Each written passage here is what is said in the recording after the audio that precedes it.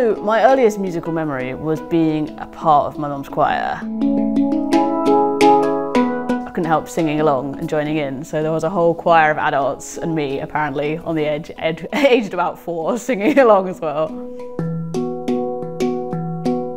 I knew I wanted to be in music from the age of about 14. As I continued playing percussion, I joined at the back of my school orchestra.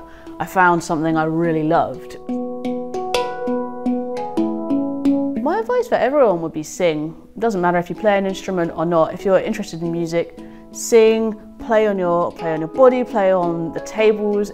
There's music, there's rhythm everywhere.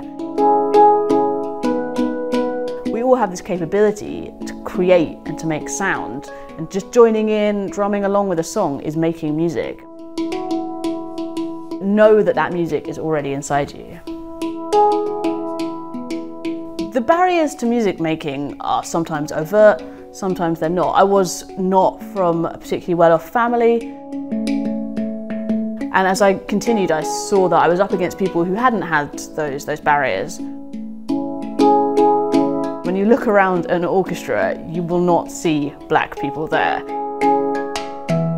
Playing percussion as well, a lot of people think that's a boy's job or a boy's instrument but I don't see why it has to be. I think it's beautiful music and I don't think anyone owns any instruments. Leading with the music first has helped me overcome barriers. My artistic role models are the people that I'm around. Seeing people who excel, who are confident and, and joyful with it, they're the people that really inspire me. My favourite thing about music is communication. When you're in a room, a noisy school hall surrounded by people running around, touching your instrument, listening, there's an immediacy and a feedback that you just don't get in other settings.